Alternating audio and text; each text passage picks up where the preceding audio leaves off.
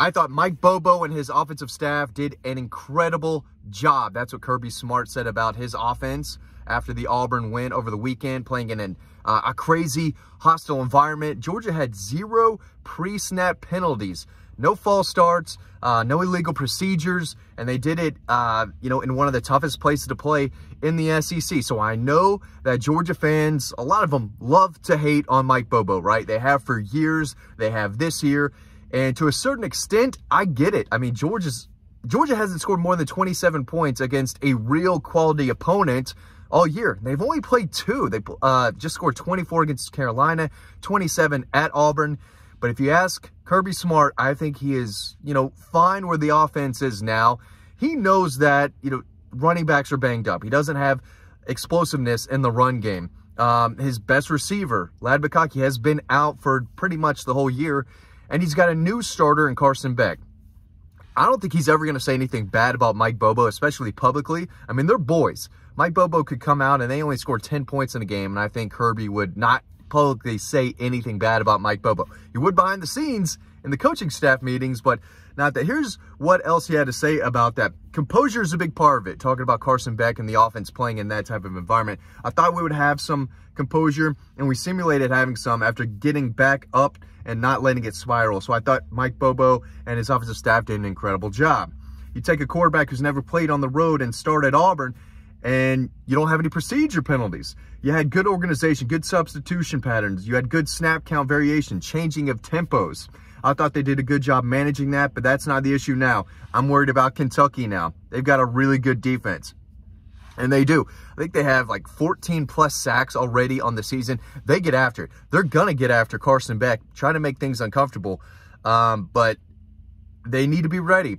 The run game is slowly coming back. Daijun Edwards is healthy. Dillon Bell is a great change of pace back. Get Brock Bowers the football is all I have, to say. Uh, arguably the best player in all of college football. When they went to him, when the game mattered most, plays happened. Got to get him the ball early, get some points in the first quarter. Here's what Kirby had to say about Kentucky's defense, though. He said, the variation they run, the defense they run is very unique. You don't play a lot of teams just like them. They have a lot of overhangs, what I call depth in defense. They have people at the second level all over the place. There's not a lot of free yards out there. They make you earn everything you get. They're massive up front. They have big people. They play 3-4 and 4-3.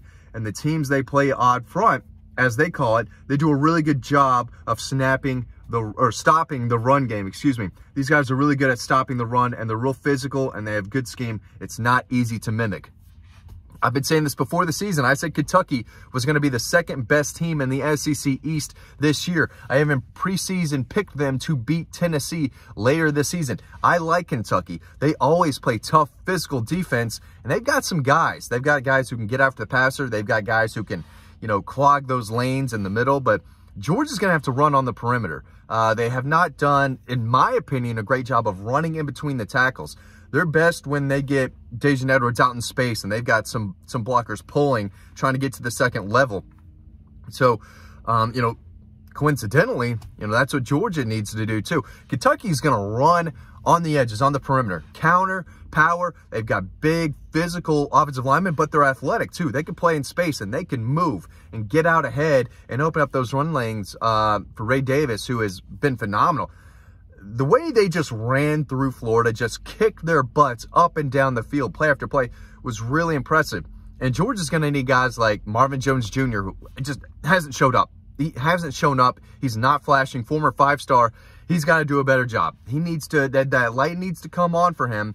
Chaz Chambliss has to do a better job of keeping contained and not getting up the field so much where they slip behind him and get the edge and, and make a big play. Auburn tested Georgia on the perimeter outside of the tackles, and they picked up a lot of yards there. Now, of course, the quarterback was a big reason. Uh, Payton Thorne, Robby Ashford, they did a good job running the ball, getting it to the outside. Devin Leary is not going to run on Georgia. He's not been a great passer this year either. He's thrown for 10 touchdowns, but he's throwing like 56, 57% completion percentage. That's bad. That's bad quarterback play. If you can't even get to that 60% mark, in an offense uh, uh, in college football today where you could kind of dink and dunk if you need to. Um, he's not accurate down the field. If they're going to beat Georgia, they need to run through Georgia.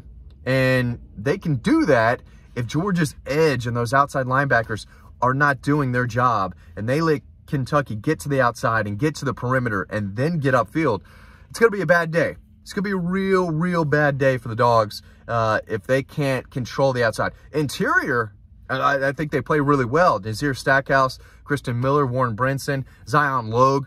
They play well between the tackles defensively. It's on the edge and on the perimeter where they have to do a better job. Um, here's what Kirby had to say about Carson Beck, what he learned from Carson Beck after that big Auburn game, where Carson made some throws now. He threw some ropes. He's not playing perfect, and he's just a little bit off with his guys down the field. They're going to have to hit those against Kentucky. They're going to have to hit at least one or two deep balls. One of them needs to go for a touchdown, but that part of the offense needs to improve and progress, especially against a Kentucky team that's going to come after Carson. So whether it's, you know, eh, get the screen game going or, you know, a lot of protection up front. You only have two receivers going out. One of them's going deep. Got to hit them, whatever way. Get the ball to Brock Bowers, dude. Whatever you got to do. Here's what Kirby had to say. He said, you know, most quarterbacks, uh, the start of the first game, you may not know enough. I feel like I had this relationship and I knew Carson. I don't feel like I've learned a lot because I knew a lot already. He's been in the system.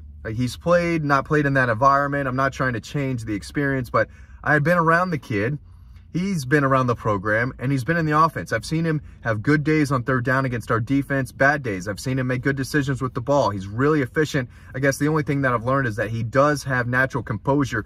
I already thought that because the way he practices, but he doesn't get flustered easily.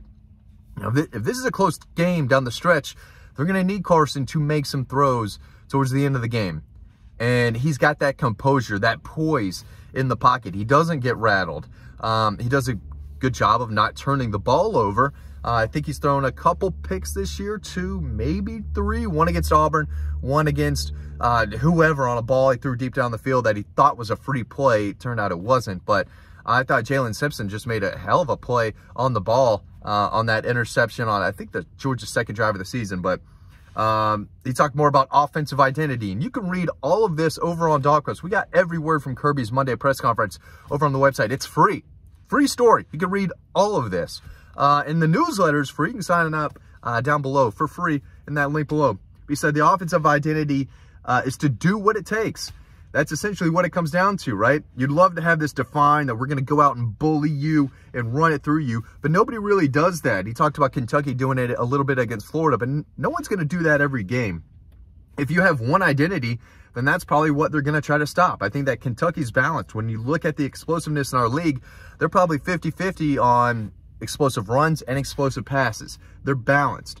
So um, going back to us, I think our identity has been that up front, um, up and down in the red zone, excuse me, we've been pretty dang good on third down, especially against Auburn. Uh, third and longs, third and mediums, Georgia was great. They're going to need to do that against Kentucky too. They're going to be in some situations where it's third and medium, third and long, more than they would like. Uh, we've got a lot of things we can work on, but as far as whether uh, it's about the backs or not, we don't cry over what we don't have, which is you don't have explosiveness at the running back position. Little bit of Dillon Bell, little bit with Daijun Edwards, but overall, talking 40, 50 yard runs, explosive plays in the run game, Georgia doesn't have it right now. And they've got to figure that out. They have to get explosive plays elsewhere because it's not coming from the run game. Um, you figure out what you've got, you figure out uh, what they can do. So I'm not going to sit up here and complain about it with the help or safety or how many backs we've got. That's not what we worry about. What we have is what we have. Um, so they're still figuring out their identity on offense, but it's it's run the ball, play physical. But they're gonna have to make some throws, and they're gonna have to make more throws down the field. This is a massive, massive game. Just want to add that again. Uh, Georgia fans already know this. The SEC East could be up for grabs. If Georgia loses this game, they need Kentucky to lose twice. And if they beat Georgia on the road at night between the hedges, who's to say they won't go up to uh, or beat Tennessee at home, right? Um, this is a good Kentucky team and one I tried to tell people about in the preseason. Tennessee fans got real triggered at me when I said Kentucky was better than them preseason. Now they look better than them because they're 5 and 0 and Tennessee's not the team I think most people thought they were, but Georgia's going to have a real fight on their hands. Uh, they need to continue to play well on third down offensively. They've got to run the ball better um, between the tackles. They need good guard play. They can make plays on the perimeter. feed Brock Bowers, let Dillon Bell run the football a little bit more. Hopefully, Ladd McConkey is back and healthy. They'll get him the ball more. But overall, Kirby Smart, you know, going back to, you know, what I started this video with, he knows that Mike Bobo knows what he's doing. And I think he's happy with uh, the way they performed in the red zone and on third down last week. Just got to carry it over into this week, guys. Thanks for watching this video. As always, make sure you read all of this over on Dawg Post. This is a free story, and that newsletter and the link down below is free to sign up to. Thanks for watching. I hope to see you on the website.